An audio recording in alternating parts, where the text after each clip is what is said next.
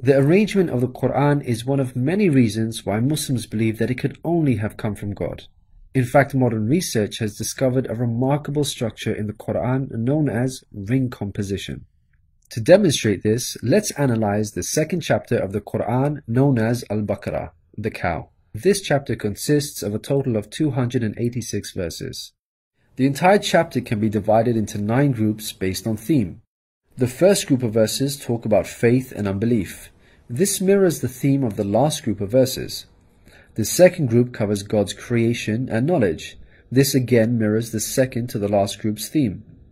The third group discusses the law given to the Israelites, which mirrors the giving of law to the Muslims in the seventh group.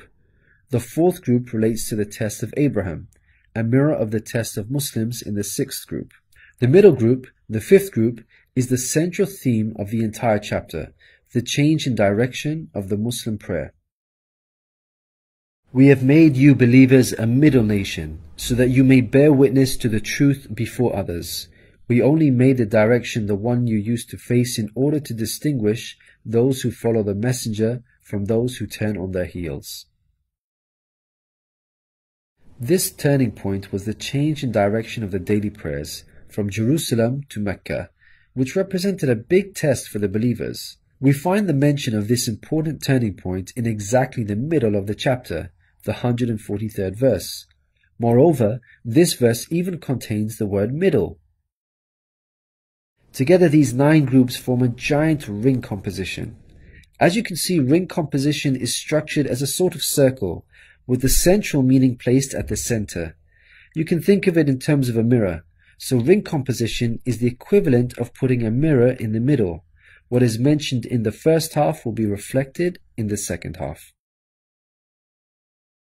Things can be taken a step further. If we examine these nine groups, we find that they each contain sub-ring compositions.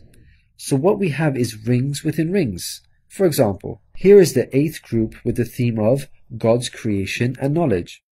We can see that the beginning and the end both have the themes of giving and charity, and the central theme of God's power and knowledge is placed in the middle.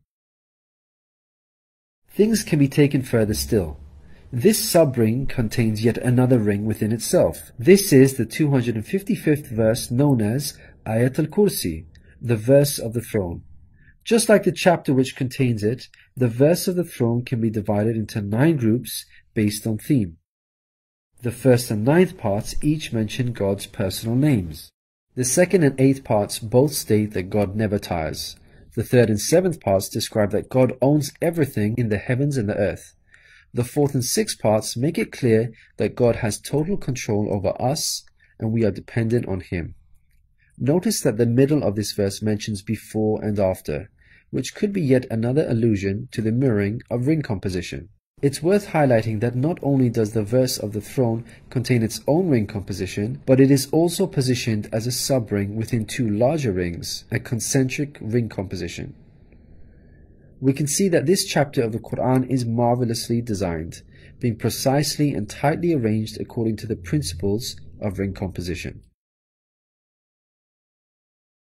This precision in arrangement is in fact astonishing when we consider the timing of the revelation of these verses. To appreciate this, let's consider the analogy of building construction. Imagine you had the task of building a house. Rather than waiting until you receive all of the materials and then drawing up a carefully thought out design plan, you instead decide to proceed without complete knowledge of the constituent parts constructing it piecemeal, adding to it bit by bit as and when you receive the individual materials. What are the chances that this approach will result in a well constructed house? Unlike an organized approach where each part is placed in its best possible position according to a design plan, instead you have a situation where it seems each part is placed arbitrarily, depending on the order in which the parts were received. In such circumstances, you would most likely end up with a very poorly designed house, liable to collapse at any time. It is highly unlikely, perhaps even impossible, that this disorganized approach would end up with the same stunningly designed house as an organized approach. Yet this is exactly what we find with the Quran's structure. The builder in our example is the Prophet Muhammad, peace be upon him. The house that he began to build since its first verses were revealed to him is the Quran. The rooms and bricks in our construction example are its chapters and verses. He can never have a design plan in place for the Quran because the revelation of many of its verses depended on events that were out of his control, such as the social developments and challenges that he faced throughout his prophethood. For example, Believers would come up to him and question him on a particular matter, or his enemies would challenge him. The responses in the form of revelation would then descend on him, addressing the specific situation that he was facing.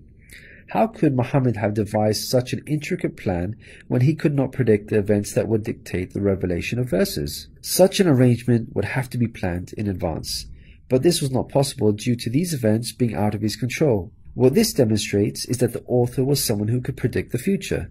Possessing knowledge of the unseen is a quality of God, not human beings.